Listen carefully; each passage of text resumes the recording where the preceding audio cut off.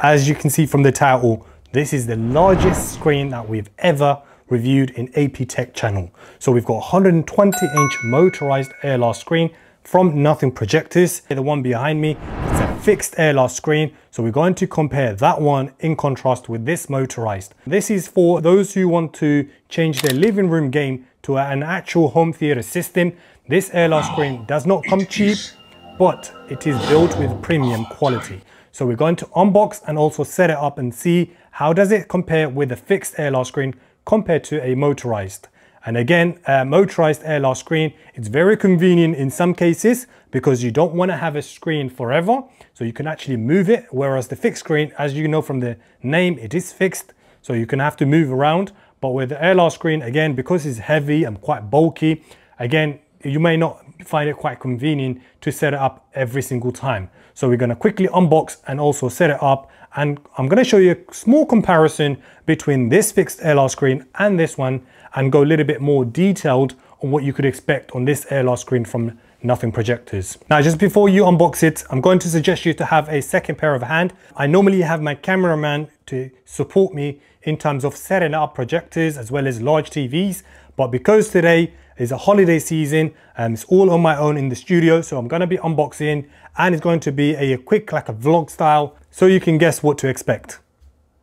Now we're gonna start it off by removing all of these dressings and then we're gonna take it to naked, obviously the projector being naked and see how does it compare with this fixed ALR screen.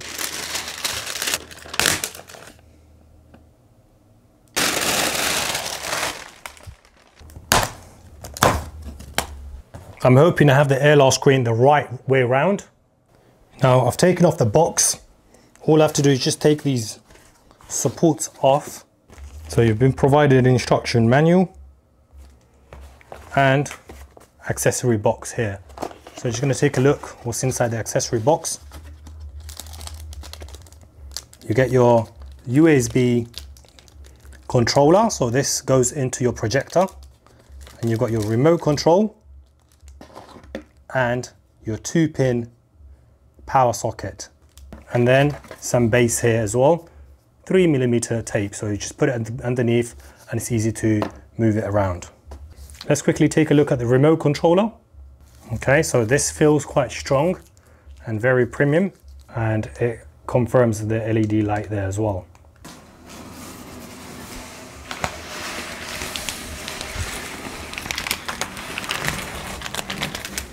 So the first thing that we need to do is put the cable in.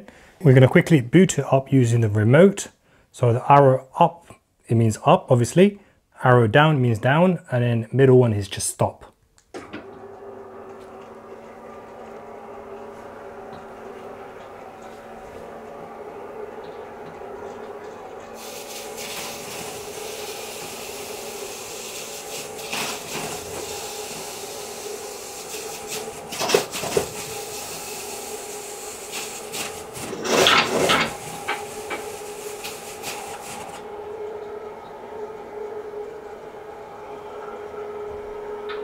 Just for context, so that way you can understand how big this ALR screen it is.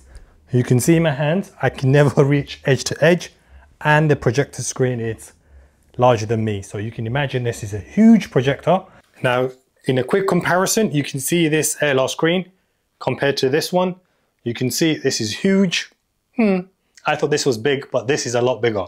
So you 120 inch, so it's just 20 inch bigger than this one.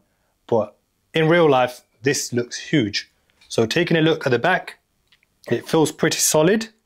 I'm going to take it down the ALR screen, bring the UST projector and put it on here. I'm going to bring it down. Yeah.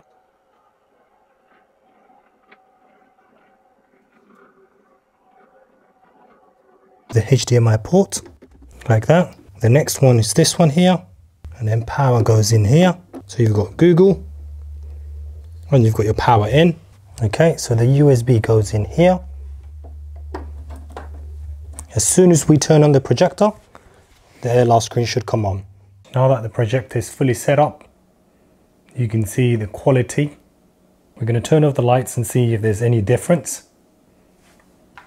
So you can see there's a light there and there's a light behind me here. Obviously, this is unparalleled quality. There's no comparison to whatsoever. So I'm just gonna play HDR content.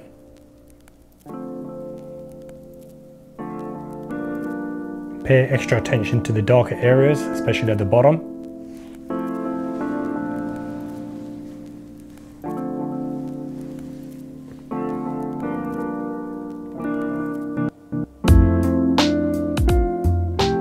In comparison to my height, I'm five foot nine, five foot 10. Now this ALR screen makes me look like a baby and it's insanely huge that I can't seem to fathom. Now obviously I don't have both screens side by side, but judging based on the previous videos, the ALR screen looks pretty much the same. Watching my favorite content as well as movies on this 120 inch is insanely amazing. Having 120 inch ALR screen on this living room, it's kind of overkill simply because this living room is pretty small and watching this huge screen, it feels like you are overwhelmed. So if you do have a massive living room, then I would definitely suggest you to go ahead with this 120 inch. But if you do have a smaller living room like mine or smaller than this, then I wouldn't advise you to go for 120 inch. And obviously the price also makes a huge difference. The bigger the screen, the more expensive it gets. Who is it for and would you actually purchase a motorized ALR screen instead of a fixed? The fixed ALR screen, sometimes it feels like it's more convenient because you have it there on the wall and you're good to go. So that's quite convenient when it comes to having it fixed. But the setup process is a lot harder and because it's fixed, you don't have the room for you to move your ALR screens from one room to the other. Whereas this motorized ALR screen, Obviously with a smaller size, you have the ability to move it from one room to the other, or if you actually move out, it is easy to transport it from one house to next. Final thoughts of this projector. As you can see from the name, it is ambient light rejection screen. So it rejects all of the light. This room is well lit. You've got light right here. You've got light here. You've got light, a blue light behind me. So obviously the room is well lit, but the projector is still showing really well. During the daytime, the projector is also doing amazing. This is an example where you can actually see we're watching our content and the projector is still holding up really well. Most of the projectors, if you're projecting it on the wall or a simple cheap screen, then you won't be enjoying your content to the maximum capa capacity. Irrespective of how powerful your projector it is, if you don't pair it with the right screen, then you won't enjoy your content to the full capacity. Obviously you want to watch a movie as the creator intended. Now you've made to the end of today's video. If you're still here, let us know in the comment section, would you purchase a 120 inch ALR screen? If no, let us know why. Till next time, watch this video.